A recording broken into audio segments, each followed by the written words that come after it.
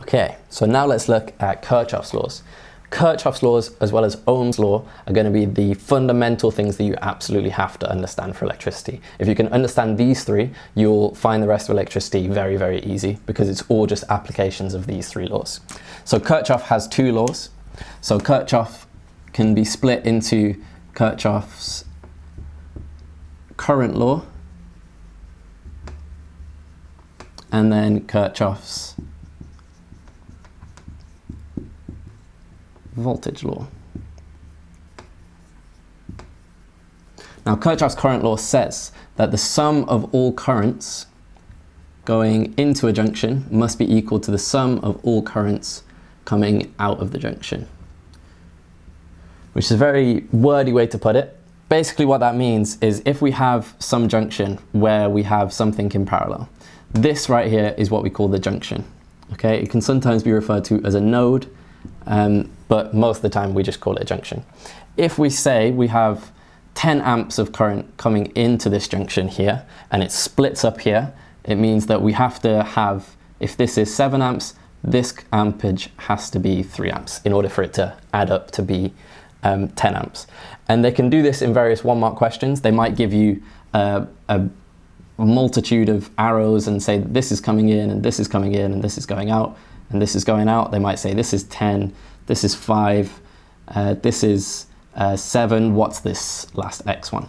And then you just have to say that all the ones going in, so 10 and 5, so 15 must be equal to 7 plus something in order to give you uh, 15. And so we know 7 plus 8 is 15. And so that has to be 8 amps. All of these are in amps. And that's Kirchhoff's current law. And this is basically a conservation of charge. It helps us to explain how um, current will be the same everywhere in a series circuit, but when it's in a parallel circuit, it will split because this would be your parallel circuit. Current can only travel in one direction. It can't be simultaneously traveling down two different wires. Kirchhoff's voltage law says that all of the, the sum of all the EMFs going into any loop is equal to the sum of potential difference coming out of that loop. And so this is a conservation of energy, where this is a conservation of charge. So if we take a value for, uh, if we take a series circuit with some resistance, this is the, the source of the EMF. This is going to be the battery. Let's say the battery has an EMF of 10 volts. It then says that if the battery going in has a EMF of 10 volts, the potential across this resistor also has to be 10 volts because this is our loop here. And so the total EMF coming in has to equal the total EMF coming out. If we then had a second loop where we could add more resistors onto here, this would then be a second loop. And so even in this, we have to say that the total potential coming in has to be equal to the total potential coming out. The only tricky part here is that the current is going to travel in two different directions through these resistors. So you will have a minus 10 volts through one resistor and plus 10 volts in the other resistor because your total EMF in this um, loop is actually zero because there's no battery giving in any energy into this one.